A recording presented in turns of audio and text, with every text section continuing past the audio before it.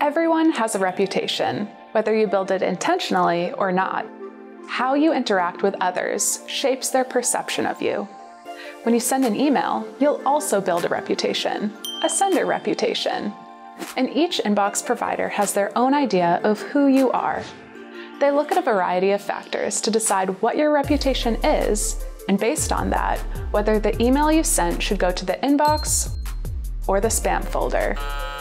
Where your email lands makes a huge difference in your performance.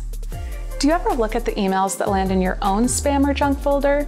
Probably not. You're much more likely to open emails that land in your inbox, although you might only open the ones you find most interesting or important. When someone doesn't open your email, there's no chance they'll click it. This affects both your click and open rates, and as a result, your sender reputation. Unopened emails don't lead to conversions, so your revenue attributed to email will also decrease. Your sender reputation has a direct impact on your revenue, so how can you ensure your reputation is strong? Inbox providers decide where to place your message based on a variety of factors.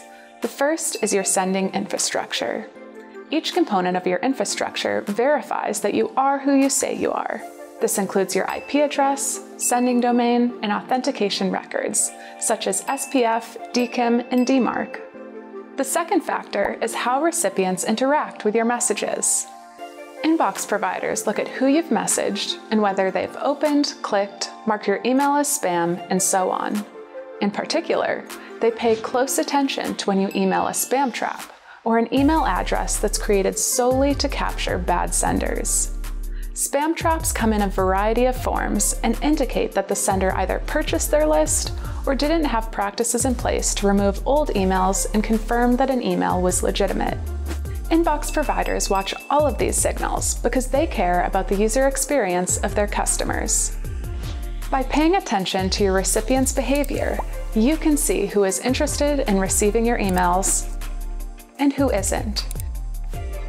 Use that information to remove unengaged recipients from your marketing and tailor your messaging based on your engaged recipients' interests.